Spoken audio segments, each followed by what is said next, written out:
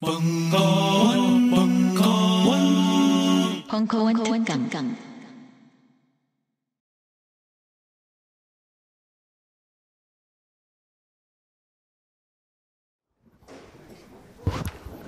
아, 반갑습니다.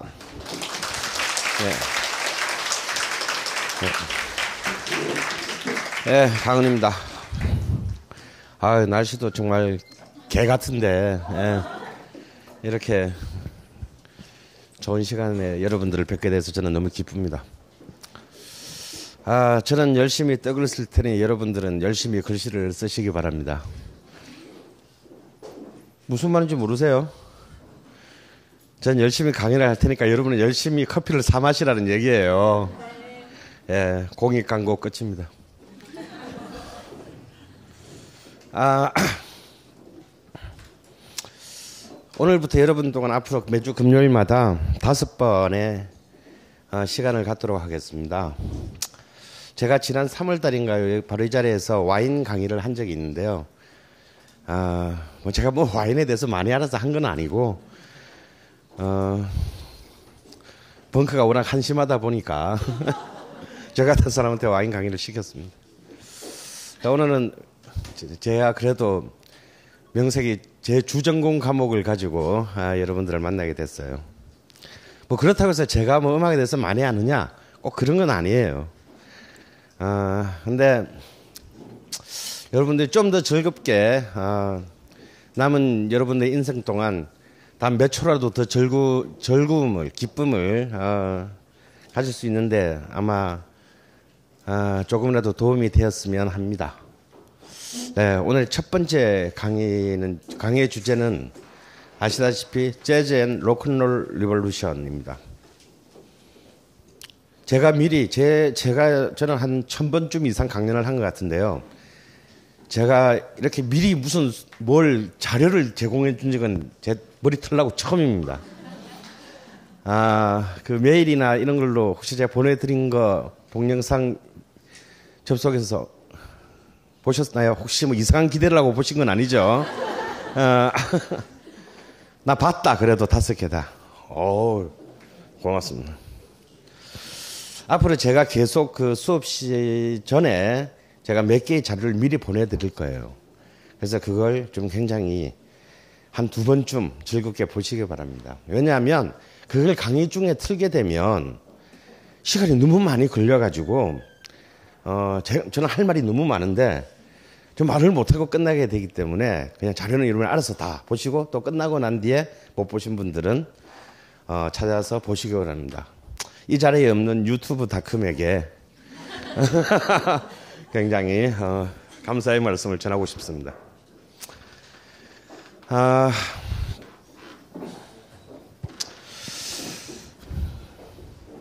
재즈와 로큰롤이라는 두 개의 음악은 여러분이 이미 다 알고 계시는 거죠. 뭐 좋아할 수도 있고 싫어할 수도 있지만 오늘의 이 자리는 뭐 그 음악이 어떤 음악이고 뭐가 유명하고 그것을 얼마나 어떤 어떤 유명한 사람이 있는지 그런 걸 알아보는 자리는 아닙니다. 사실 재즈와 로큰롤은 인류의 문화사에 있어서 어쩌면 1789년의 프랑스 대혁명에 비견될 만한 굉장히 중요한 어쩌면 인류의 예술사에 있어서의 가장 위대한 그 코페르니쿠스적인 대전환의 그 문화라고 할 수 있습니다. 어쩌면 우리가 재즈와 로큰롤에서 오늘 여러분들과 한 두 시간 반 동안 추적해야 될 것은 아, 이 음악이 이렇게 뭐 아름답고 훌륭한 음악이구나가 아니고 이걸 통해서 우리는 지난 100년 동안에 어떤 예술사의 위대한 진화가 있었는지 그리고 지금 현재 오늘 우리가 누리고 있는 이 문화가 과연 어떤 유전자를 갖고 있는 것인지를 여러분들 몸속에 있는 바로 그 유전자를 스스로 파악해 보는 시간이라고 할 수 있어요. 도대체 뭐 재즈와 로큰롤이 뭔데 이렇게 약을 파시나 하고 그 의문이 든 분이 계실 수도 있습니다만 아마 지금부터 2시간 반 뒤면 제가 무엇을 말하고자 했는지 여러분은 알게 될 것이라고 저는 확신합니다. 자, 그러면 시작해 볼까요? 제가 이런 걸 만들어 본 것도 물론 제가 만든 건 아니고 벙커에서 만든 건지만요. 처음이에요. 열나폼 납니다. 아, 멋있죠? 네. 그래서 제가 이 오늘 첫 번째 전복과 반전의 순간의 첫 번째 제목을 마이너리티의 예술 선언이라고 붙였습니다. 아, 제가 좋아하는 역사학자, 영국의 위대한 역사학자가 있어요. 에릭 홉스범이라는 사람입니다. 어, 이 사람이 재즈에 대해서 어, 가명으로 재즈 평론가라도 활동한 사람이에요. 젊었을 때. 그 사람이 재즈에 대해 얘기하면서 굉장히 그 의미심장한 말을 남겼어요. 재즈는 가장 가난한 민중의 일상에서 탄생해서 주류의 문화가 된 극히 보기 드문 첫 번째 예의다라는 말을 했어요. 우리가 흔히 예술이라고 하는 것은 문화라고 하는 것은 언제나 많이 배우고 많이 가진 자들의 것이었어요. 그리고 그들에 의해서 인류의 예술사가 이끌어져 왔습니다. 그런데 못 배우고 못 가진 자의 그 바로 그런 그런 비참한 어떤 민중의 일상 속에서 그리고 바로 그 비천한 인간에 의해서 만들어진 문화가 인류 역사상 처음으로 mainstream에 진입했다라는 거예요. 이것만으로도 재즈가 그 이전의 예술사에 대한 가장 거대한 전복의 역사를 어, 기술하게 되는 가장 첫 번째 이유가 됐습니다.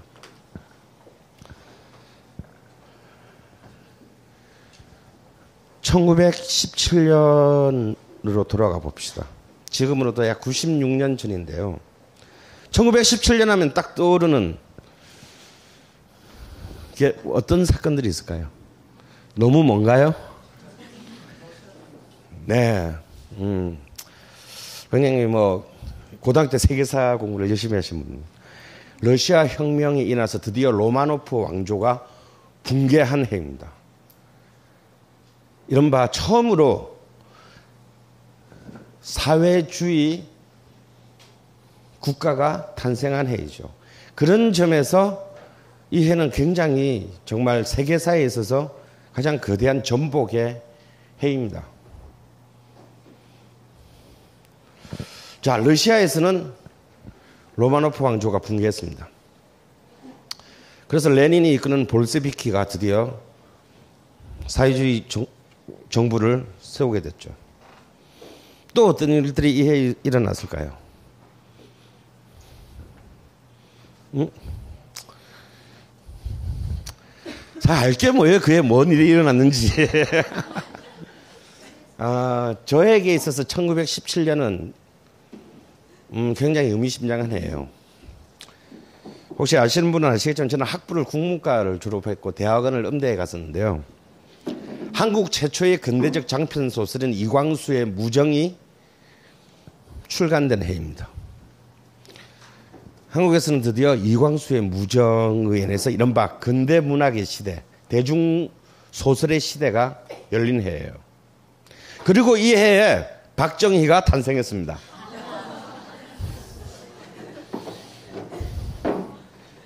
근데 이 해에 박정희만 태어났나요?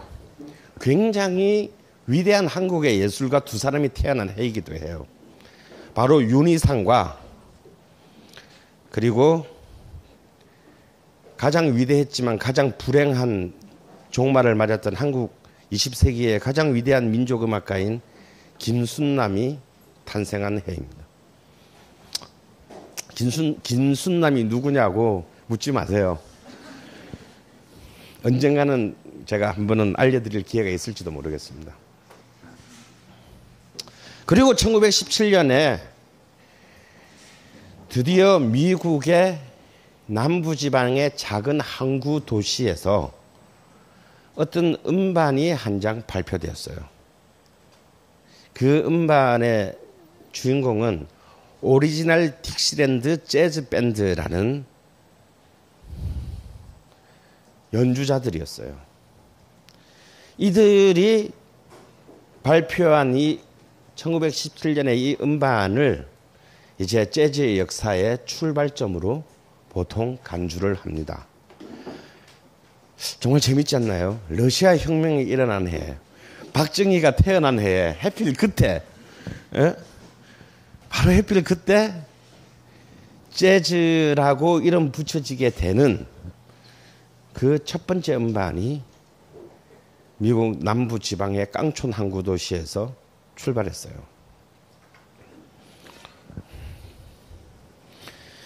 물론 재즈는 이미 그 이전부터 있어 왔을지 모릅니다.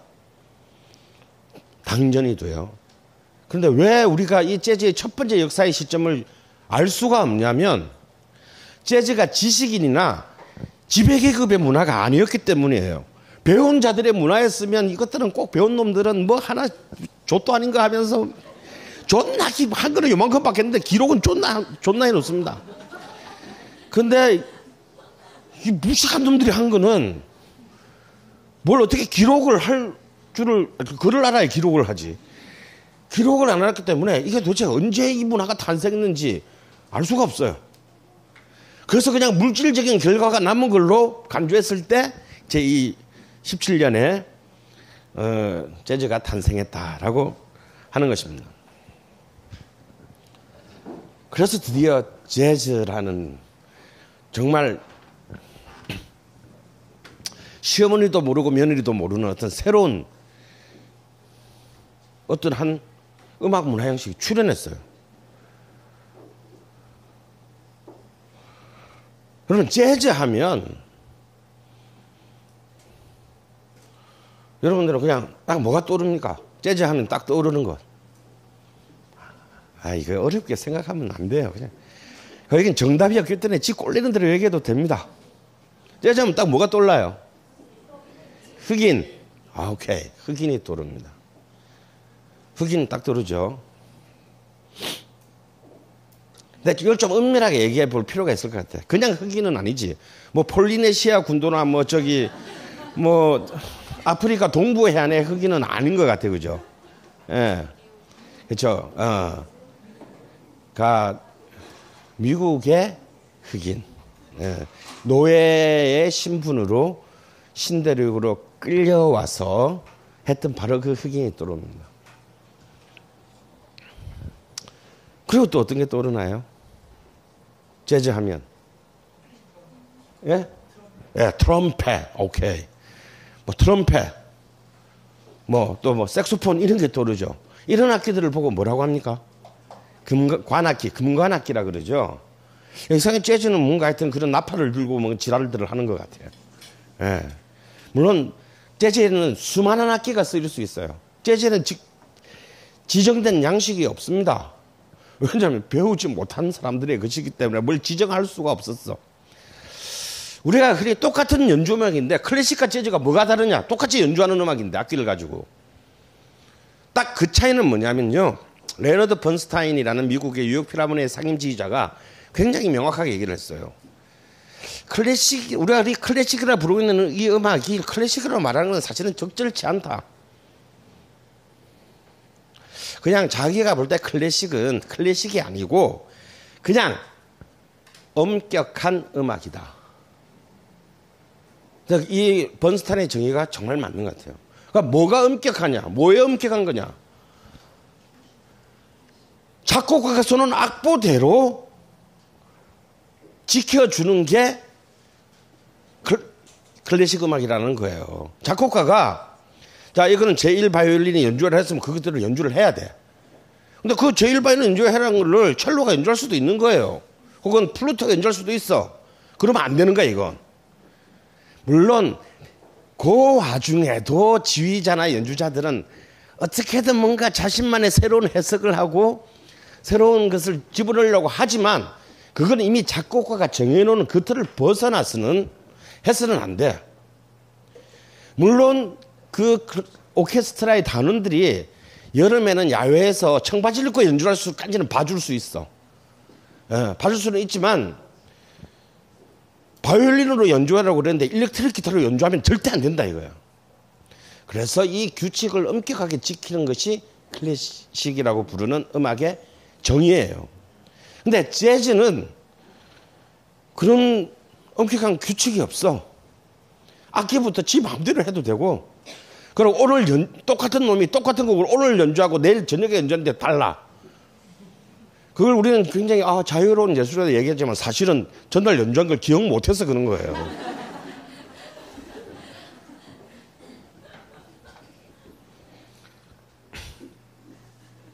레스터 별명을 Prez, President라고 불렸던 유명한 1940년대의 그 색소폰 주자가 있었어요. 레스터 영이라는 흑인 그 색소폰 주자가 있었는데 아직 재즈, 재즈에 대해서 잘 모르던 그 당시 최고의 메이저 레코드에서는 콜롬비아 레코드에서 사장이 어느 날 술집에서 걔가 연주하는 걸 들은 거야.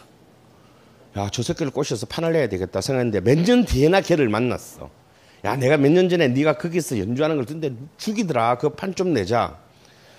그랬더니 그 레스터 영은 그렇게 말했어요. 내가 그때 연주한 곡을 난 지금 연주할 수 없다. 죄송합니다. 이 간단한 일화에는 재즈에 대한 모든 함축된 의미가 숨어 있어요. 다시 말해서 재즈는 정의되고 지시되지 않은 음악이에요. 그게 무슨 숭고한 철학을 갖고 있어서가 아니라 그냥 본래 처음부터 그랬던 거야, 그냥. 그런데 그래서 관악기가 재즈의 방금 말씀하신 관악기가 재즈의 상징이기는 하지만 가장 재즈의 본질을 담고 있는 악기이기는 하지만 그것이 재즈만은 아닌 거예요. 그래서 재즈는 양동이로도 연주할 수 있고, 어? 클래식 악기, 뭐, 바이올린, 뭐, 콘트라베이스로도 연주할 수 있고 다 할 수 있는 거예요. 또 재즈하면 떠오르는 거또뭐 없습니까? 재즈하면 딱 떠오르는 거. 너무 벙커스럽지가 않은 것 같아요 분위기가. 재즈하면 뭐가 떠올라요? Orleans, 오케이. 예, 이제 뭔가 이게 너무 지적이야. 벙커에 맞지 않아. 예. 예. 또, 예? 집중력이요? 아, 즉, 너무 어려워요. 즉흥 연주. 예. 폭풍 가창력. 예. 네, 뭐 이런 것들이 다 충분해 다 재즈예요. 왜냐하면 사실은 지금 여러분이 아무 말이나고 해도 다 재즈예요.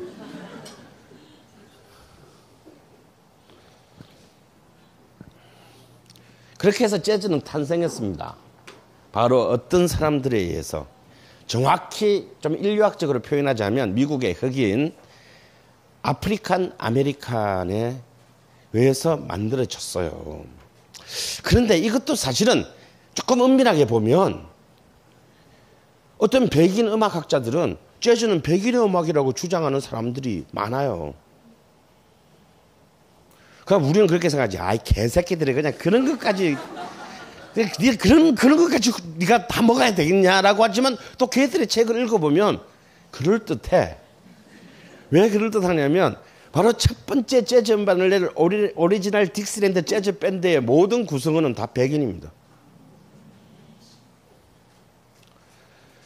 다음에 방금 아까 말했죠. 뭐 재즈에 쓰이는 기본적인 악기, 뭐 트럼펫, 색소폰, 뭐 피아노, 베이스, 뭐 등등등 이 모든 악기가 흑인이 만들었습니까? 다 백인이 만든 악기예요.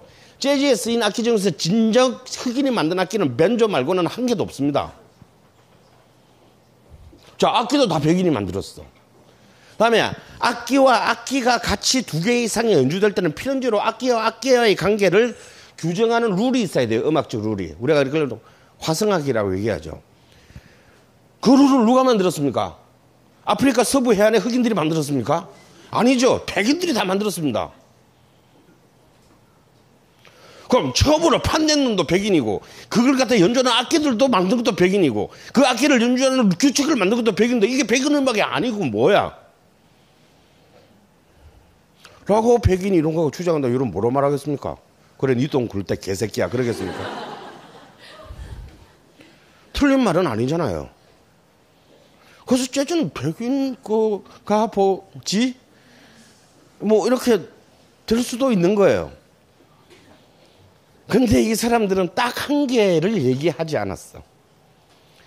진짜 이 모든 것보다 눈에 보이는 이 모든 것보다 더 중요한 어떤 하나를 사실은 빠뜨렸습니다. 그게 뭔지 이제 곧 여러분들은 생각을 해 보세요. 그래서 저는 미리 결론을 얘기하자면 말이죠. 재즈는 African American의 음악이다. 다시 말해서 미국 흑인의 음악이다라고 얘기하는 것도 사실은 엄밀하게 조금 어폐가 있다. 조금 더, 좀 더 우리가 관용을 가지고 보자면 재즈는 사실은 백인의 음악 문화적 전통 위에서 African American들이 만들어낸 새로운 음악이다라고 봐줘야 할 것 같습니다.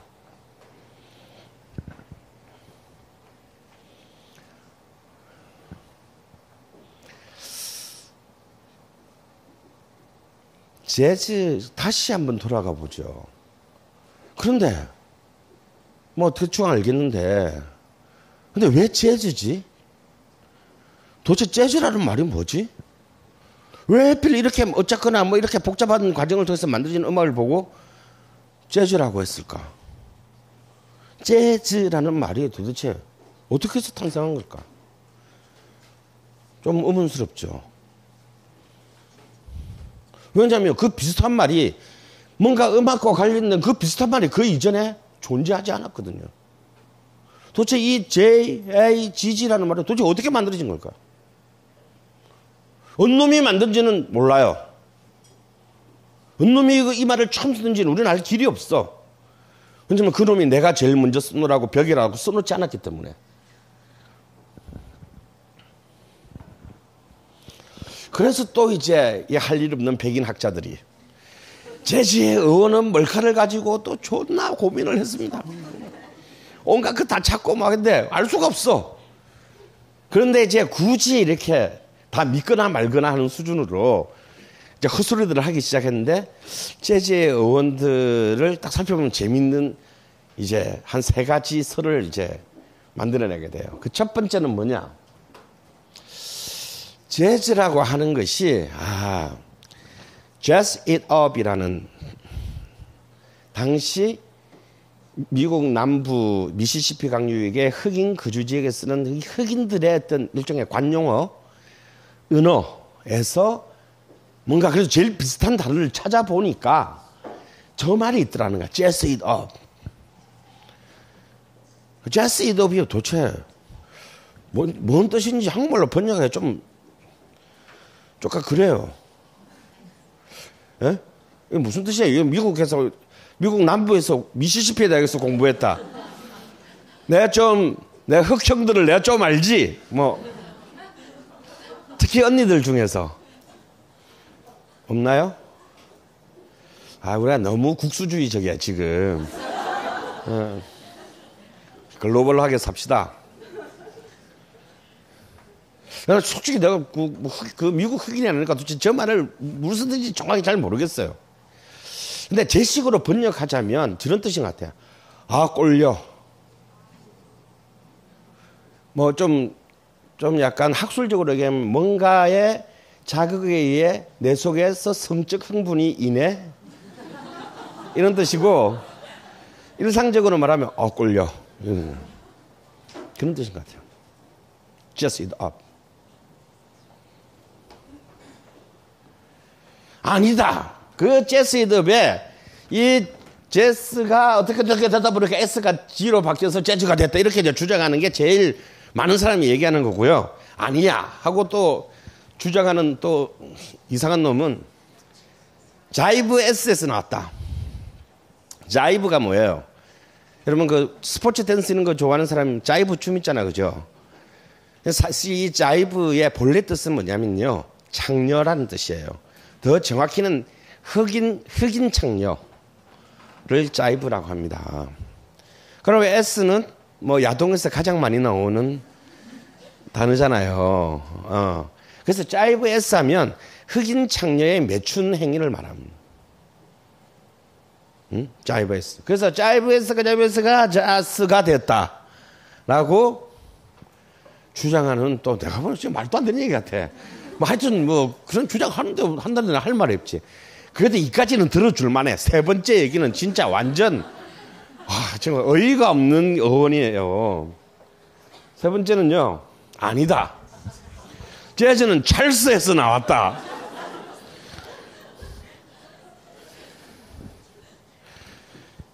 찰스는 남자의 이름이잖아요.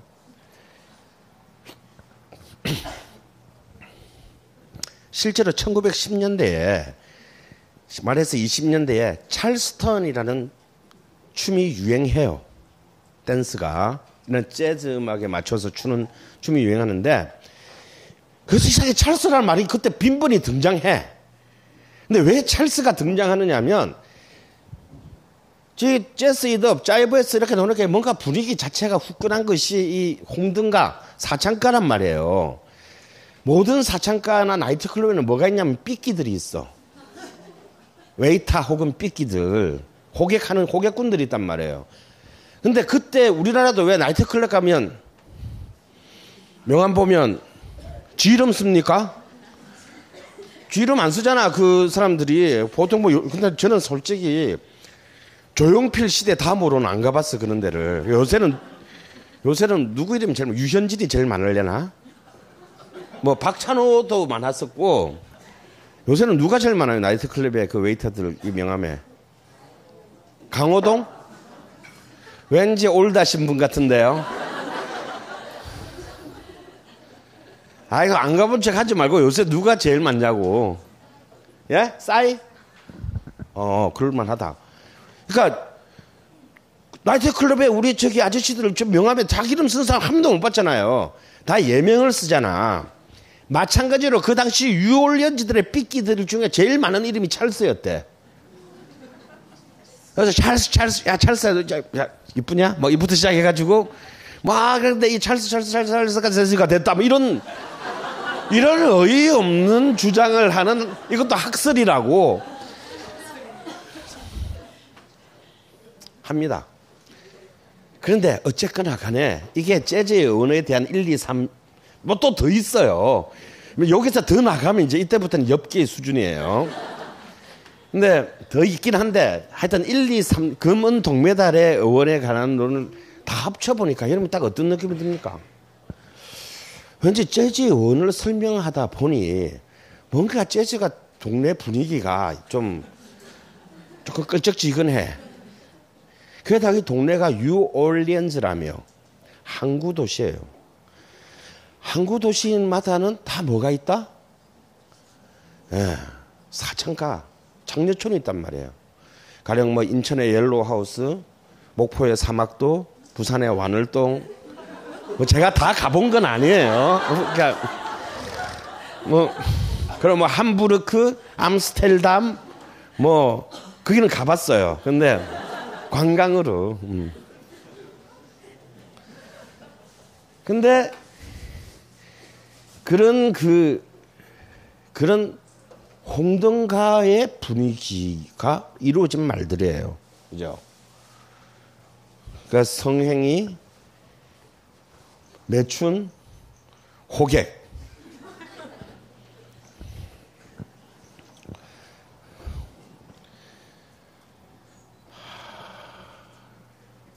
그래서 뉴올리언즈로 우리는 이제 그런 동네의 분위기 속에서 만들어진 음악이에요.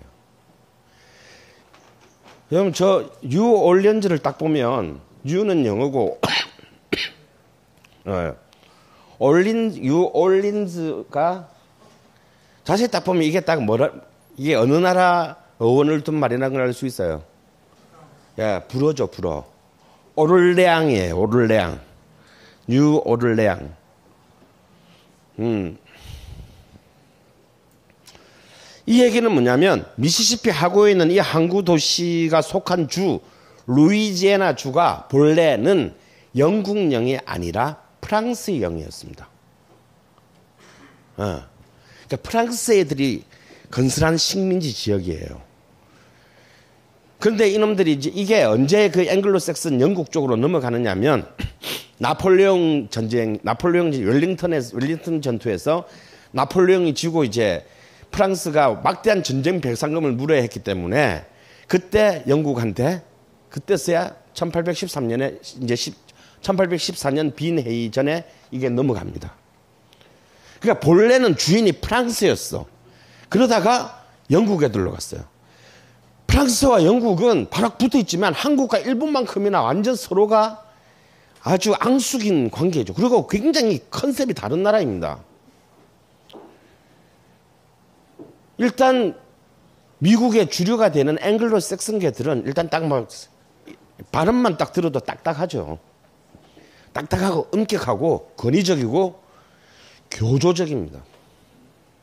그렇게 그들은 자신들의 식민지를 만들었어요. 근데 프랑스 애들은 약간 한랑하고 생각이 좀 없고 철없고 생각나는 대로 짓거리다가 나중에 존나 후회하고 뭐 이런 애들 있잖아요. 에? 예? 좀 그런 컨셉이에요. 그러다 보니 이쪽은 프랑스가 통찰 때부터 굉장히 상대적으로 또 항구 게다가 항구 도시 다 보니 게다가 또 노예항이다 보니 이미 노예들이 오기 아프리카에서 잡혀오기 전부터도 여기에는 각종 백인들로 일종의 백, 인종의 용광로를 이루었던 지역이에요. 왜냐하면 우리가 보기에는 다 백인이지만 백인, 백인들끼리도 이 등급이 있는 거 아시죠? 그러니까 앵글로색슨은 지들이 백인 중에서 유일한 적자라고 생각해. 그러니까 완전 개새끼들이지 한마디로. 그 특히 아일랜드는 그의 짐승으로 봅니다. 그래서 아일랜드 개백인들 그래서 저기 그 알란 파커 감독의 Commitment라는 진짜 정말 뭐 좋은 훌륭한 그 음악 영화가 있는데요. 그 아일랜드 개백인이 더블린에서 R&B 밴드를 만들어 그 공구를 내 오디션 광고를 그러면 동네 순 양아치들이 와가지고 할 일도 없으니까 막 하면서 오디션 보면서 물어요 그 광고 낸 주인공한테 아니 근데 우린 백인인데 왜 R&B를 해야 돼? 그러면 그 주인이 그럽니다. 왜냐하면 우린 유럽의 흑인이니까. 음, 뭐 이런 이런 막 알로그로 막 가득 차 있는 재미있는 영화인데요. 이건 아일랜드는 정말 사람 취급을 안 해요.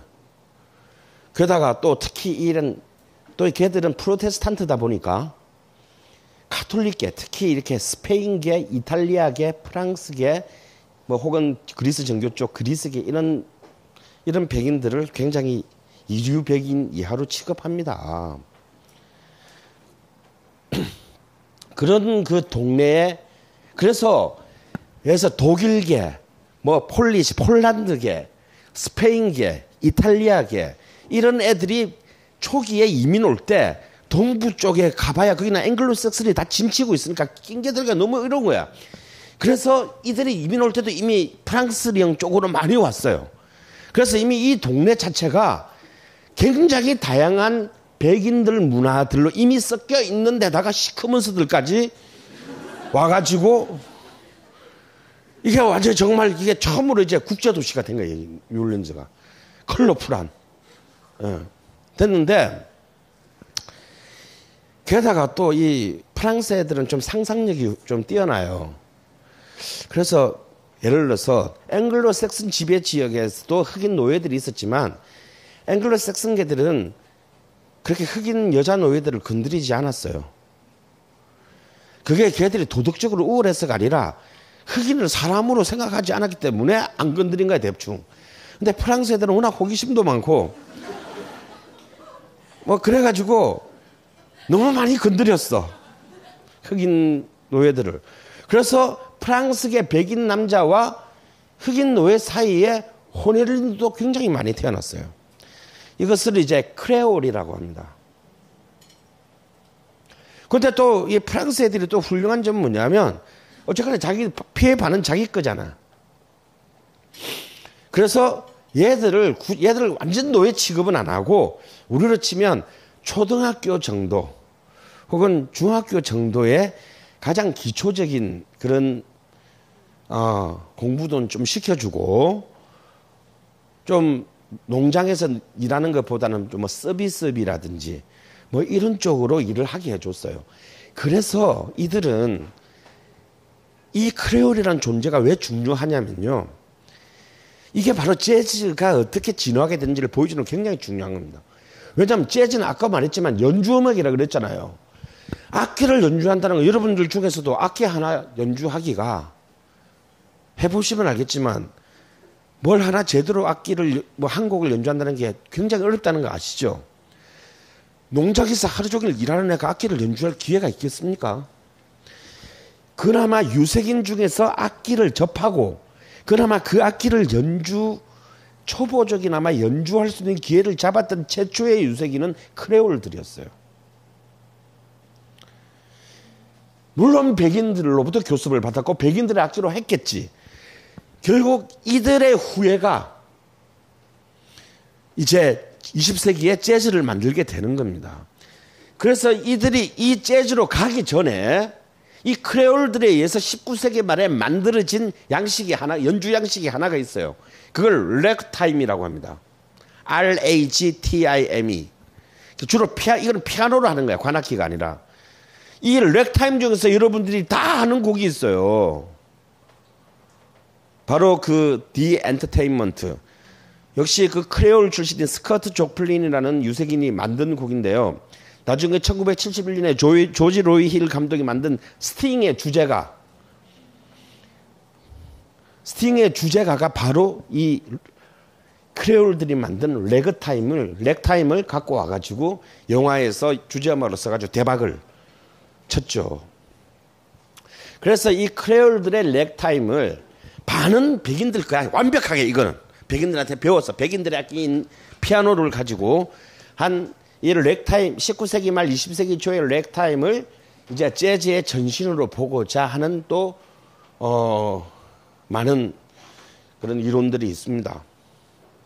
그래서 결국 재즈라고 하는 것은 백인들 거에서 백인과 흑인이 반쯤 섞인 크레올들로 넘어왔어. 그 다음에 이제 진짜 오리지널 시크먼스들로 이렇게 넘어오는 이런 이제 그 짧은 뭐라 그럴까 이렇게 그 진화의 과정 속에 있게 된 거죠. 바로 이 유올리언즈의 588.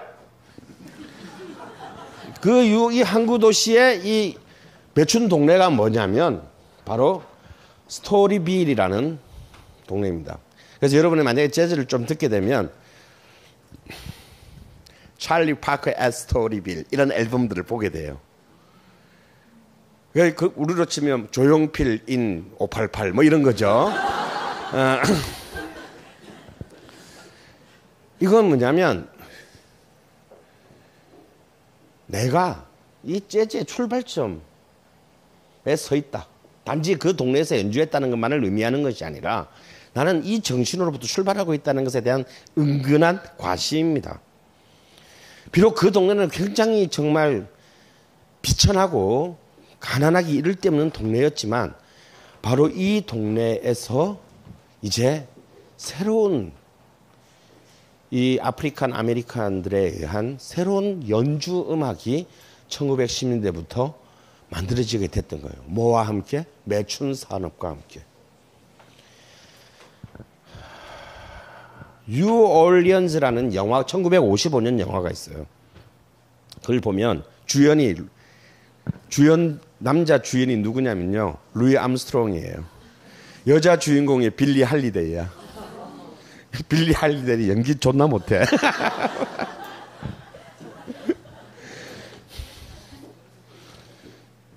근데 이제 흑백 영화인데요. 그걸 보면 굉장히 재밌는 장면이 나와요.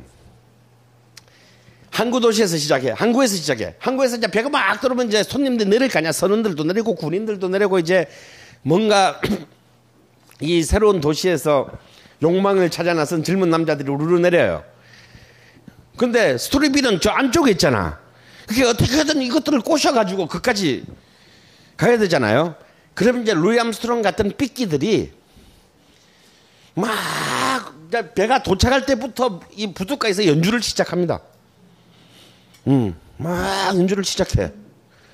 그러면 이제 내린 애들이 그러면 이제 각 업소별로 연주 연주가 막 몇 개가 이렇게 항구도 항구 앞에서 연주가 있는데 거기서 제일 마음에 드는 이제 그 악대를 따라 그러면 이제 사람들이 막 모이면 걔들을 끌고 자기 업소까지 가는 거예요. 그래서 이제 실내로 들어가면 이제 제재하면 또 떠오르는 또 공간이 있죠. 뭔가요? 바잖아요, 바. 그래서 재즈 바, 뭐 이런 것도 우리 한때 90년대 우리나라도 유행하고 그랬는데요. 사실 이 바라는 데가 뭐라면, 뭐냐면, 우리는 바 하면 그냥, 어, 뭐, 어, 손혜진 같은 애들이 이렇게 밤에 가가지고, 이렇게 우아하게 이렇게, 그런데 아니에요. 예? 그런데 아니야. 우리는 술 마시는 거하고 매춘이 일어나는 몸 파는 공간을 굉장히 굉장히 분리하는 경향이 있어. 마치 이렇게 588은 그냥 언니들이 쭉 유리창 안에 서 있고 굉장히 좀 이렇게 섬찟한 정육점 같은 공간이라면 뭔가 술을 마시는 데나 뭔가 우아하게 다리를 꼬고 담배를 물고 뭐 이런 걸로 생각하는데 사실은 바는 이 두 개가 합쳐진 공간이에요. 그러니까 이 당시에 매춘 그러니까 또그 시간에 내가 가본 것 같네. 하여튼 이 당시에 매춘은 어떻게 했느냐면 이렇게 손님을 끌고 가잖아. 그럼 바야. 그 술집이에요. 그래서 그러고 언니들이 있어 거기에. 그래서 처음부터 그게 아니고 그냥 거기서 일단 술을 한 잔 마시는 거야. 술 한 잔 마시면서 언니들하고 얘기도 하고 뭐 이러다가 마음에 들면 2층으로 올라가거나 옆집으로 가는 거예요. 예. 그러니까 이, 한국에서 이까지 오는 것도 중요하고 여기 와서 술만 한 잔 마시고 나가느냐 더 많은 고수익을 올릴 수 있는 어떤 한 그 비즈니스 모델을 창조하느냐 이거는 정말 그 순간에 달린 거예요. 그래서 술이 필요하고 뭐가 필요하냐면 음악이 필요한 거야. 이것들을 훨씬 더 꼴리게 만들 수 있는. 그래서 저는 재즈란 말을 한국말로 직역하면 꼴림 이렇게 이렇게 난 저는 번역하고 싶은 거예요. 그래서 이제 그것까지 끌고 온 악들이 다시 이 실내에서 굉장히 그 어떻게든 얘들이 언니들을 데리고 방으로 갈 수 있게 분위기를 만드는 음악들을 막 연주해야 되는 거예요. 이게 재즈예요. 이게 스토리빌에서 탄생한 정말 처절한 살아남기용 서바이벌 뮤직이에요.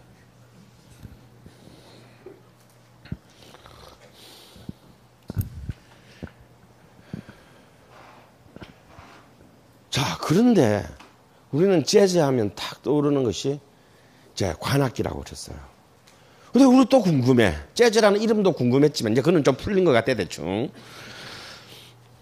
그런데 이 시커먼스들이 어떻게 그 수많은 악기를 죽여서 관악기를 손에 쥐게 됐을까? 왜 이들은 이 악기를 선택했을까?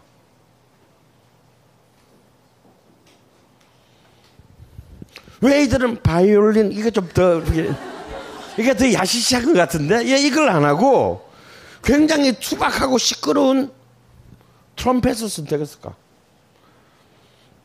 사실 얘들은 솔직히 말하면 결론을 말하면요 선택의 여지가 없었어요. 아니 이게 배운 적도 없는 애들이 어떻게 악기를 이 항구 도시의 삐끼 소년들이 어떻게 악기점에 가가지고 뭐 얼마예요? 뭐 그러고 샀겠어요? 아니죠.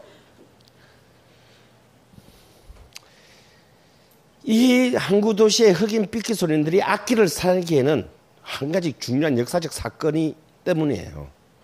바로 전쟁입니다. 1898년부터 1900년까지 다시 말해서 19세기의 막바지에서 20세기로 오는 동안에 미국은 당시 이제 저무는 제국이었던 스페인과 내전을 벌려요. 사실 스페인은 지금 미국 땅인 남쪽에 텍사스, 유멕시코, 뭐 애리조나, 캘리포니아 남부 이쪽이 사실 그 당시는 뭐다? 19세기는 스페인령이었어요. 근데 막 상, 떠오르고 있던 미국은 그 땅도 탐나는 거야. 그래서 괜히 이상한 사건 하나 조작해가지고 시비 걸어가지고 통킹만 사건에 사실은 그 오리지널이 바로 있지도 않은 그 폭발을 만들어 가지고 괜히 시비 걸어서 베트남을 공격했잖아요. 그게 통킹만 사건인데 그 원조가 바로 미국 스페인 내전이에요. 그래서 괜히 가만히 있는 스페인을 시비 걸어서 전쟁을 막 일으켜 가지고 그걸 연락해 가지고 밑으로 쫓아내 버립니다. 그래서 지금의 리오 그란데 강을 경계로 하는 이제 그래서 지금도 뉴멕시코 막 이런 데 가면 영어하고 스페인하고 다 같이 쓰는 거예요. 저 미국 한 번도 안 가봤어요. 혹시라도 막 내가 여기서 미국 많이 갔다 온 사람 안 가면 저 미국 입국이 거절된 사람이어서 한 번도 못 가봤어요. 예. 아니 제가 무슨 뭐 큰뭐 미문화원 방화 사건을 저질렀다거나 이런 게 아니고요. 제가 여, 옛날에 영화를 할 때 뉴욕 영화제로부터 초청을 받았어요. 제가 뭐 놀러 가는 것도 아니고 저쪽에서 초청을 해서 그걸 비자를 내려 도서관는데 아, 그 대사에서 비자 받는 게 굉장히 굴욕적이더라고요. 서른 살의 젊은이인 저한테는. 그래서 너무 족같이 굴길래 아이 씨발 안 가면 될 거 아니야. 족가 씨발 그리고 내가 그러고 나왔으면 되는데 괜히 그 앞에 있는 그 미국인 소리를 확 뺏어가지고 눈앞에서 빠바바박 찢어서 얼굴에 확 던지고 나왔어요. 그랬더니 근데 여러분 제발 그렇게 살지 마세요. 순간의 선택이 20년을 힘들게 해. 저는 그러고 그냥 아예 안 가 그러고 저는 왔거든요. 근데 또 2년 뒤에 또 어디 다른 영화제에서 초청을 받았어. 그래서 이제 그때는 이제 그 여행사를 통해서 했더니 여행사에 전화 오더니 혹시 무슨 사고 저지른 거 있으세요? 그러더니 안 된대. 아, 이 새끼들이 그 뒤끝 되게 세네. 그래서 못 갔어요. 또 그리고 10년이 지나서 십몇 년이 지나서 또 바로 그 오늘의 얘기하는 동네 미시시피 대학에서 초청 강연이 와서 아 이거는 되겠지 하고 가는데 십몇 년이 지났는데 안 돼. 비자가 안 나와. 저 진짜 이 새끼들이 정말 뒤끝 더럽게 긴 애들이에요. 그러니까 지금 이제 비자가 없어져서 제 집에 갈 수도 있다 그러는데 뭐 아무도 권하진 않아. 왜냐하면 비자가 없어졌는데 거기 갔다가 그 공항에서 그냥 네, 거절되는 경우가 많대요. 너 같은 경우는 지금도 그럴 것 같으니까 괜히 비행기 값 날리지 말고 웬만하면 가지 마라 그러더라고요. 그래서 아, 결국은 못 가보게 될 것 같은데 별로 뭐 가고 싶지도 않아요. 하여튼 하여튼 뒤끝 있는 나라 이제 이 미국에 전쟁이 일어나가지고 이제 드디어 자기 영토 확장 전쟁이지. 그걸 했어요. 자, 그럼 전쟁이 일어나면 전쟁에서 제일 중요한 게 뭐죠? 병참 보급이에요. 병사보다 더 중요해. 병사가 있으면 뭐해? 보급이 안 되면 걔도 다 굶어 죽는데. 그러면 언제나 전선에서 가장 가까운 쪽에 병참 기지가 있어요. 그러면 이 한국, 아, 한국이래. 미국 스페인 전쟁에 제일 가까운 항구 도시가 뉴올리언즈 항이었어요. 그래서 뉴올리언즈 항이 이 미국 스페인 전쟁에 일종의 보급창 역할을 했는데 전쟁이 끝나고 난 뒤에 이제 필요 없어진 많은 폐기된 군수 폐기해야 될 군수 물자들이 다 이 항구에 와서 폐기되는 거예요. 그럼 이 수많은 군수 물자 중에 뭐가 있냐? 군악대 악기들이 있었다 이거야. 여러분 뭐 군대를 갔다 오신 분도 있고 뭐 갈 필요가 없으신 분들 있고 가야 되는데 안 간 놈들도 있고 뭐 여러 가지가 있겠지만 안 가도 다 아는 거지. 그리고 군악대 악기의 가장 주류가 무슨 악기예요? 관악기잖아. 관악기는 기본적으로 태생상 전쟁의 악기예요. 전쟁과 사냥의 악기란 말이야. 왜 관악기가 군악기냐면 그 이유가 뭐예요? 두 가지 있어요. 첫 번째, 소리의 직진성이 굉장히 제일 강한 악기예요. 불면 한 5km까지 그 소리가 날아가요. 두 번째, 포터블 해요. 손에 들고 다닐 수 있어야 돼. 피아노는 절대 군악대 악기가 안 돼. 그걸 누가 들고 다녀, 그걸. 근데 현악기가 절대 군악대 악기가 안 되는 이유는 현악기는 기본적으로 실내 악기예요. 야외에 나가면 들리지가 않아. 두 번째, 현악기는 비 맞으면 끝이야. 비는 고사고 습기만 많아도 악기를 못 쓰게 돼요. 그래서 현악기는 군악대 악기가 들어요. 그래서 군악대 악기는 뭐다? 관악기와 타악기로 이루어져 있어요. 그러니까 이 악기들이 바로 이제 완전 이 한국 뒷골목에 그냥 새로 굴러다니게 된 거예요. 그런데 이 관악기의 역사를 한번 보면 이 악기는 사실은 백인이 만드는 가장 역사가 깊은 악기 중에 하나임에도 불구하고 이 악기들의 역사는 참 점점 몰락한 양반과 같은 악기예요. 그리스 로마 시대 때까지는 관악기가 짱이었는데 이게 바로 그때까지는 좀 어느 정도 명맥을 유지하다가 이제 우리가 잘 아는 이제 뭐 모차르트 뭐 베토벤 이런 이제 아저씨들이 등장하면서 이 악기들은 점점 미나투판의 흑살이 껍데기가 되기 시작해. 막 자꾸 자꾸 밀려나 중심에서. 여러분 뭐 여러분들도 클래식 좀 듣고 살지요. 정윤서 선생 강의 제목이 그거라며. 그래서 뭐 예술의 전당인지 뭐 예술의 뭐, 뭐 뭔지는 잘 모르겠지만 하여튼 그런 데 가면 오케스트라 보러 가보세요. 어, 악기를 배치해버려. 악기의 배치가 권력의 자리, 권력의 배치거든. 본래 모든 권력은 권력자의 거리에 반비례해요. 내가 권력자의 거리가 가까울수록 권력이 큰 거야. 그러면 오케스트라 지휘자가 있으면 지휘자하고 제일 가까운 악기들이 뭐예요? 예. 지휘자가 딱 등장하자마자 누구랑 악수합니까? 제1 바이올린 악장하고 악, 악수. 어씨 왜 걔하고만 악수를 해? 어, 걔하고만 악수를 해요. 제일 물론 이제 아마 지휘자의 개성에 따라서 배치가 조금 다르긴 하지만요. 가장 통상적인 배치는 자, 지, 내가 지휘자고 여기가 객석이고 여러분이 요 자리가 오케스트라라면 제일 바이올린, 제이 바이올린, 비올라, 첼로가 이렇게 딱 지휘자를 싹 둘러싸고 앉아요. 딴 놈들은 들어오지 마. 그리고 그 바로 뒷줄에 중앙에 이제 이쁜 언니들 플루트 뭐 피콜로 뭐 오보에 뭐 이런 목관들이 쫙 앉아요. 그리고 그 바로 뒤에 이제 혼, 뭐, 잉글리시파고 뭐 이런 것이 앉고 그 맨 마지막 뒷줄에 트럼펫, 트롬본, 튜바 아저씨들이 무표정하게 앉아 있습니다. 왜냐면 객수로부터 너무 멀어서 뭐 잘 보이지도 않아. 그 양쪽에 이제 뭐 타키들이 있고. 여러분이 오케스트라 연주에 무슨 베토벤 교향곡 들어가서 보면 가서 보세요. 사실은 여러분들 전부 다 거의 그 앞에 보는 시간에 거의 90%는 지휘자만 봐. 잘생긴 애들. 어? 존나 카리스마 있는 애들. 지휘자만 보잖아. 가서 한번 혹시 다음에 갈 일 있으면요. 트럼펫 주자 한 명을 찍어가지고 얘가 1, 2, 3, 4학장 동안 뭐 하는가만 계속 보세요. 진짜 할 일 없어 걔들. 처음에 1학장 알레그로 정도에 조금 합니다. 2학장 아다지오 들어가면 편히 쉬죠 보통. 예, 편히 푹 쉽니다. 말러 같은 거 하기 전에는 편히 푹 쉬고 뭐 사막장 미니에테 가도 대통령 손톱 소재하고 있어요.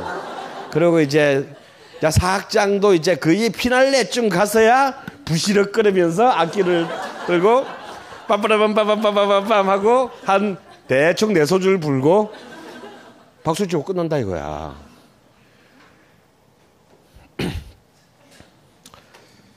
악기의 권력은 작곡가들이 이 악기를 독주 악기를 얼마나 많은 작곡을 해주느냐에 따라 결정돼요. 그런데 19세기로 이제 고전 낭만주 시대로 오면 작곡가들은 작곡가들은 자기가 먹고 살기 위해서 자기의 작품을 훨씬 과시적으로 들리는 효과를 만들어내야 돼요. 한 번에 이렇게 해서 딱 꽂혀야 내가 먹고 산단 말이야. 그러면 표현력이 풍부한 악기들을 선호하게 돼 있어요. 뭐냐? 피아노예요. 바이올린입니다. 관악기 미안하지만 노땡큐예요. 왜? 애들 너무 일단 거칠어 애들이. 다음에 트럼펫 한번 보세요. 그래서 이 피스톨이 세 개밖에 없잖아. 이거 가지고 뭘 하라고. 실제로 트럼펫은 옥타브가 악기 하나 옥타브가 1가 3분의 2 옥타브 정도밖에 안 돼요. 근데 지금 지금 옥타브를 한 네다섯 개 오려내려서 그 표현해도 지금 내가 묵고 살까 말까 한데 꼴랑 2옥타브도 안 되는 그 악기 가지고 내가 어떻게 묵고 살 거예요? 게다가 차라리 클라리넷이나 색소폰 같은 악기는 입에 입에 딱 물리는 리드가 있어서 그나마 괜찮은데 호른이나 트럼펫, 트럼폰 같은 악기는 그나마 입술에 딱 물리는 게 없어. 그냥 구멍만 뻥나 있어요. 그러니까 입술을 대고 소리를 내기가 굉장히 음을 정확히 내기가 굉장히 어렵습니다. 웬만큼 불어가지고는 소리가 안 나요.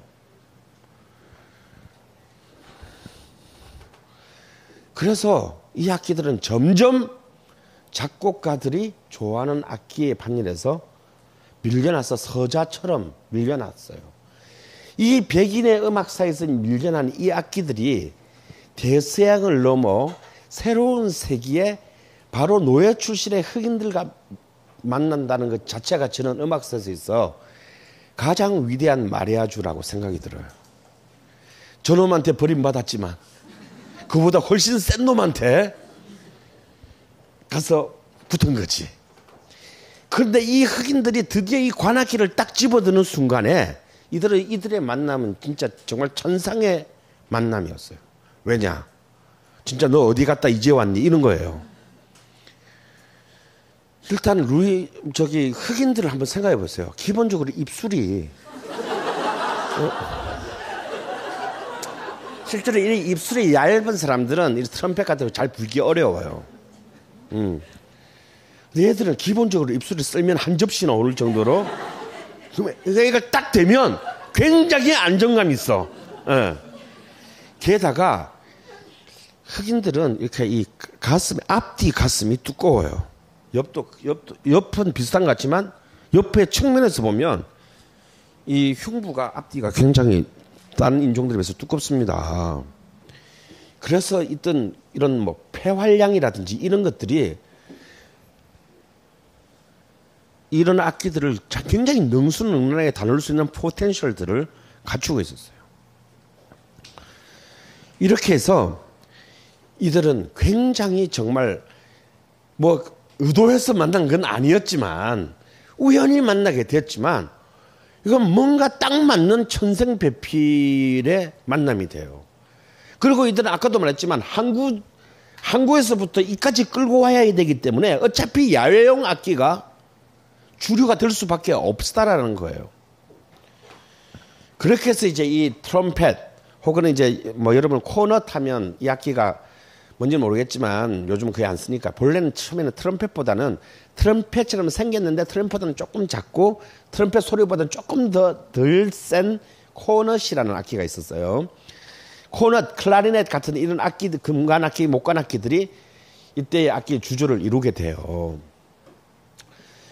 그런데 진짜 사실 그 1930대 이후에는 이제 트럼펫이 자리가 조금 지위가 떨어지고 색스폰이라는 악기가 이제 색소폰이 훨씬 더 일단 단추가 많잖아. 이게. 예. 그래서 훨씬 더 많은 표현들을 해낼 수 있게 되면서 이제 색소폰이 이제 트럼펫의 지위를 물러내고 이제 관악기의 왕자가 됩니다. 아, 이 색소폰은요. 그냥 섹스라는 사람이 만들었다고 해서 벨기에 사람인 섹스라는 사람이 만들었다고 해서 색소폰이에요. 근데 트럼펫은 굉장히 역사가 오래됐지만 색소폰은 1846년에야 만들어진 악기입니다. 그러니까 베토벤이 1827년에 죽었기 때문에 베토벤은 죽을 때까지 색소폰이라는 악기를 구경을 못했겠죠. 그래서 사실은 굉장히 늦게 탄생한 악기고 그래서 클래식의 역사에서는 그리 물론 뭐 색소폰 협주곡 이런 것도 없는 것은 아닙니다만 그리 이렇게 주류의 악기는 전혀 아닌 변 진짜 왜냐하면 역사가 워낙 짧다 보니 변방의 악기였는데 이들에 의해서 이제 정말 가장 20세기의 가장 위대한 악기로 어, 자리하게 되는 것입니다. 뭐 영화 제목 같죠? 자, 여기에서 바로 이 뉴올리언즈에서 위대한 한 사람이 한 사람의 흑인 삐끼가 탄생해요.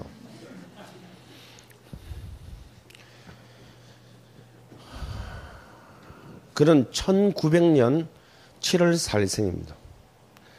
생일부터 일단 위인들은 이 생일부터가 남달라야 돼. 너무나 상징적인 생일 아닙니까? 새로운 세기의 첫 해에 미국 독립 기념일 날 태어났어요. 아, 이 흑인은 14살이 되기 전에 잡, 사소한 범죄로 소년을 이미 두 번이나 갔다 왔어요.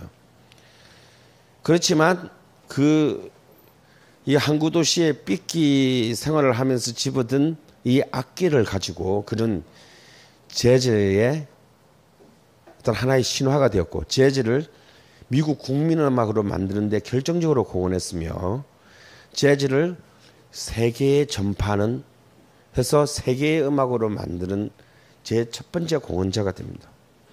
그래서 그에게 쏟아진 수많은 찬사와 별칭들이 있는데 그중에서 가장 뭐 대표적인 별칭이 이 사람의 별, 별명이 재즈 ambassador, 재즈의 외교관. 근데 이보다 더 위대한 별명은요 팝이에요. 그는 곧 대중문화 그 자체다. 그래서 팝이라는 별명을 가지게 되는 인물은 바로 루이 암스트롱이에요. 이름 분딱 보면 흑인이잖아. 암스트롱.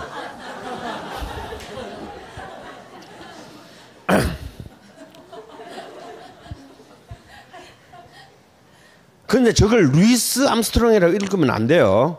루이 암스트롱이에요. 그러니까 이것도 뭐예요, 그죠? 이 이름도 프랑스 방식으로 읽어야 되는 거예요. 자, 이 루이 암스트롱의 탄생과 행적을 따라가면 그럼에도 불구하고 재즈는 뉴올리언즈라는 진짜 남쪽의 깡촌 항구 도시 우리로 치면 전라남도 목포의 사막도에서 그냥 작부들과 삐끼들이 노는 음악에 불과한 local culture였어요. 근데 도대체 이 음악이 도대체 30년 만에 전 세계 공통의 음악 언어가 된단 말이에요. 이 과정은 이것에 이런 어마어마한 무시무시한 도저히 그 이전 시대는 19세기까지는 절대 있을 수 없는 이 무시무시한 전파의 속도는 바로 이뉴 올린즈 출신의 루이 암스트롱의 행적을 따라가면 그대로 할 수 있어요.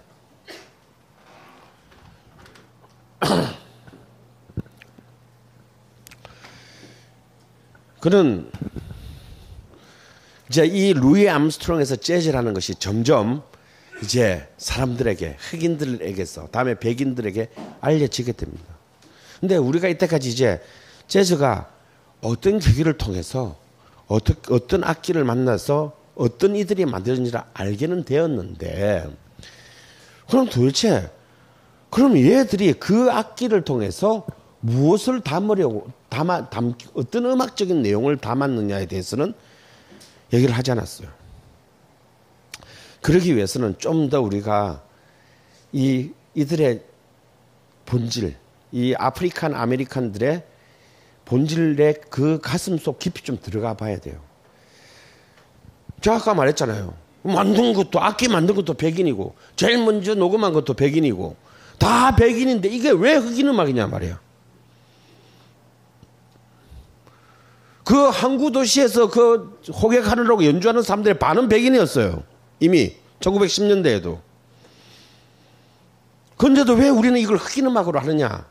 이 답을 이제 여러분들이 이제 알 때예요. 그러기 위해서는 이 단어를 하나 알아야 합니다.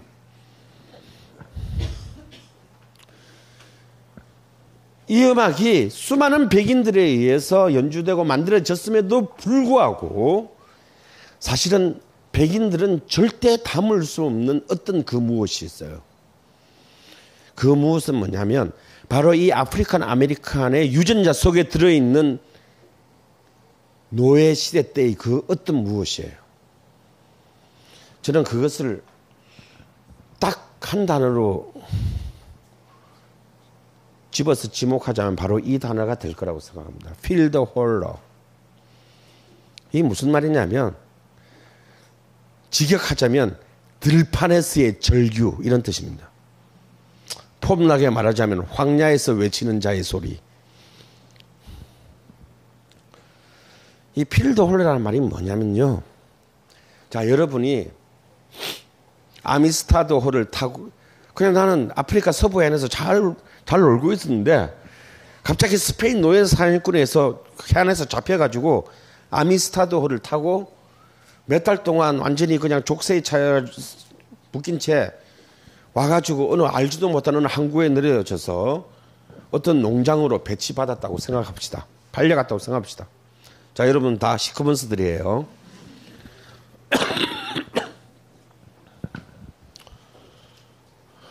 자, 이들이 처음 신데루스의 생활을 시작한 곳은 도시가 아니라 뭐다? 그 비옥한 미시시피 델타 지역의 농장이었다는 사실이 중요해요. 이 농장이라는 것은 어떤 곳이냐면 끝없는 농사가 이루어지고 있고 사람은 없는 곳이다 이거야. 그러다 보니까 일하는 노예보다 그것을 관리하는 백인이 극히 적은 곳이에요. 이 얘기는 뭐냐면 우리가 계속 흑인의 관점에서 보지 말고 백인의 관점에서 보면 나 지금 말도 안 통해. 근데 얘들을 좁혀서 일을 시켜야 되는데 만약에 이들이 자, 내가 아차하고 감시를 소홀히 하는 순간 이들은 다수고 이걸 관리하는 백인은 소수인데 순간 나는 시체가 돼요. 그렇죠? 그것도 농장이라는 끝없이 그냥 모카밭이나 옥수수밭이 펼쳐져 있는 그 속에서 누가 뭐 어떻게 되든 알게 뭐야. 그렇기 때문에 이, 이 흑인들을 관리하는 백인들은 더욱더 비인간적인 가혹성을 가질 수밖에 없었어요. 왜? 한 번의 실수는 곧 나의 죽음이니까. 그래서 이들은 어떻게 흑인을 관리했냐면 그 중에 한 가장 가혹한 방법 중에 하나가 뭐냐면요. 흑인끼리 말을 못하게 했어. 그냥 일 못한다고 그다음 이게 아니고 그냥 말 자체를 못하게 한 거야. 왜냐면 얘들 무슨 말인지 내가 못 알아듣잖아요. 이것들이 무슨 탈출 모의를 하는지 전복 모의를 하는지 알게 뭐야. 그러니까 아예 말을 못해. 그냥 말만 하면 무조건 가서 말하는 좁힌 거예요. 그럼 맞다 보면 아 내가 말을 하면 무조건 때리는구나. 말을 못하게 한 거예요. 일할 때건 일하지 않을 때건 그러면 이들이 이 근데 사람이 힘든 거는 참을 수 있는데 바로 옆에 있는 사람은 말도 못하게 하는 건 진짜 이게 참기 어려운 일이에요. 그럼 이들이 유일하게 소리칠 수 있는 것은 낮에 일하러 아침에 일하러 나가서 옆에 사람 보고 말하면 패니까 일하면서 하늘을 향해서 소리를 지르는 길 말고는 그를 통해서 자기를 자기 속에 숨어 있는 내 가슴 속에 가득 잠겨 있는 그 울분과 분노와 슬픔을 그런 이게 그러니까 이게 말인지 노래인지 신음인지 구원의 기도인지 우리는 알 길이 없어요. 왜? 그들은 기록할 수가 없었으니까. 여러분이 어떤 재즈를 듣는 데서 바로 그 노예 농장 속에서 말하는 것이 금지된 그 노예 흑인 노예가 정말 하늘을 향해서 무언가를 부르짖는 소리가 들린다면요. 여러분은 그 순간 재즈가 여러분의 음악이 된 거예요. 뭐 싱커페이션이 어떻고 임프로비제이션이 어떻고 뭐저 오프비트의 사박자고도 족가는 소리 하지 말라 그래. 그런 거는 그냥 네이버 지식인에 보면 다 재즈의 뭐 음악적으로 다 있어요. 그런 게 재즈가 아닙니다.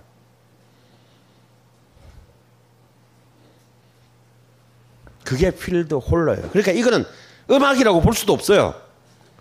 그냥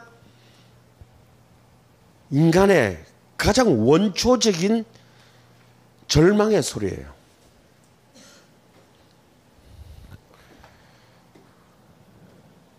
재즈가 모든 99개의 요소가 백인들에 만들어졌지만 바로 그 African American들은 바로 마지막 하나 이것을 이 안에 담았기 때문에 재즈는 African American 음악의 그, 들의 것입니다.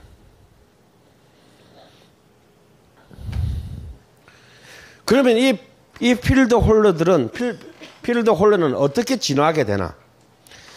이 필드 그리고 이제 우리는 시간이 흘러갔어요.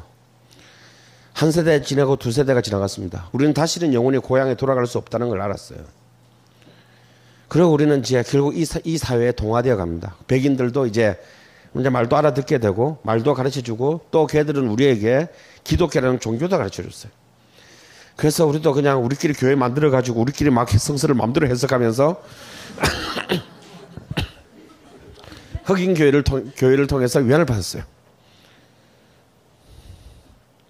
그래서 이제 우리도 이제 아 우리도 좀 좀 살자 씨바 뭐 이러면서 조금 초기에 그 가혹했던 것에서 좀 벗어나서 우리도 노래도 좀 부르고 술도 한 잔 마시고 밥도 먹고 살게 됐어요.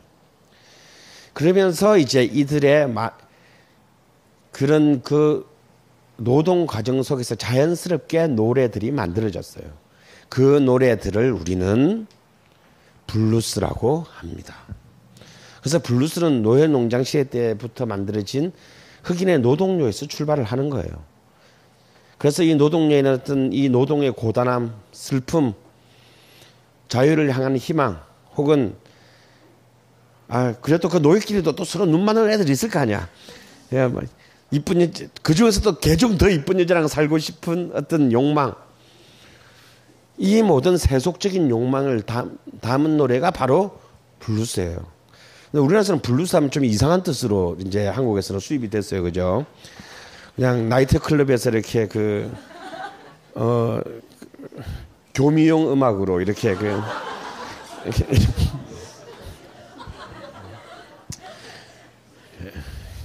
교미를 앞두고 남녀가 사, 전초전으로 부둥켜 안는 어떤데 소요되는 음악으로 이상하게 알려졌는데 블루스는 그런 게 아니고요. 글자 그대로 blue한 거예요. 슬픈 것의 복수야. Blue. 어? 복수의 슬픔으로 이제 이 음악이 만들어져야 돼요. 그리고 이제 또 여러분이 아는 또 이들에 의해서 만들어지는 음악이 있죠. 가스펠. 가스펠이란 말은 글자 그대로 God, 신의 spell, 철자라는 뜻입니다. 가스펠하고 블루스가 뭐냐? 똑같은 음악이에요. 본래 이렇게 그 없는 사람들은 한 개 가지고 다 쓰잖아. 예? 그 양반들이나 제사 지낼 때 제기 따로 있고 평소에 밥 먹는 밥그릇 따로 있지 없는 사람들은 그냥 평소에 밥 먹는 데다가 다시 받아서 제사 지내는 거예요. 그래서 세속적인 욕망을 다 똑같은 노래인데 세속적인 욕망을 담은 노래는 블루스고 신에 대한 구원을 담은 내용을 담은 노래는 가스펠이에요. 가스펠이 어디 엉뚱한 데 따로 존재한다고 생각하지 마세요. 자, 이렇게 해서 이 field holler의 그것은 블루스와 가스펠이라는 이제 흑인의 보컬 음악 양식, 흑인의 민요 음악으로 혹은 교회 음악으로 발전을 했어요. 바로 이 보컬 음악 field holler에서 블루스로 이제는 이 보컬 음악의 음악적 자양분이 이제 트럼펫이나 색소폰, 드럼 같은 악기 연주에 스며들어져서 형상화되는 그 결과물이 바로 뭐다? 재즈 음악이다라는 거예요. 바로 그 루이 암스트롱은 이제 시카고로 1925년에 진출합니다. 왜 진출하느냐? 이것도 다 앵글로색슨족 때문이야. 이 Anglo-Saxon 이상한 hardcore Puritan Anglo-Saxon 백인 시장이 뉴올리언즈 시장으로 와요. 와가지고 스토리빌 야 588 폐쇄해. 왕창 폐쇄하는 바람에 얘들 하루아침에 다 직업을 잃게 돼요. 그래서 이들은 저 정처 없이 이제 미시시피 강을 따라서 북상합니다. 올라가면서 뭐 오른쪽에 세인트루이스, 왼쪽에 캔자스 시티 저 가본 거 아니에요. 그렇게 해서 이제 쭉 올라가면 드디어 중부의 최고의 도시이자 이미 노예 해방 이후로부터 흑인들의 할렘이 형성돼 흑인들의 거주 지역이 형성돼 있던 중부 최고의 도시인 시카고가 나와요. 그래서 25살이 된 루이 암스트롱은 이제 이 시카고에 가서 드디어 동네 스타에서 지역 스타로 발돋움합니다. 루이 암스트롱이 스타가 될 수 있었던 것은 그 많은 수많은 시커먼스들 중에서 루이, 루이 암스트롱이 스타가 될 수 있었던 것은 어쩌면 그 위에 모든 엔터테인먼트 비즈니스, 비즈니스에서 스타가 되는 모든 본질이 이 루이 암스트롱 속에 숨어 있어요. 여러분, 재능을 갖고 있다고 스타가 됩니까? 절대 아니에요. 그런데 루이 암스트롱이 한, 한 명의 이 뉴올린즈 출신의 흑인 청년이 이제 시카고로 진출한 스타가 되어가는 과정은 어찌 보면은 대중문화 혹은 문화 산업에서 스타라는 개념의 탄생과 굉장히 그 스타라는 개념의 탄생과 굉장히 밀접한 본질을 공유하고 있습니다.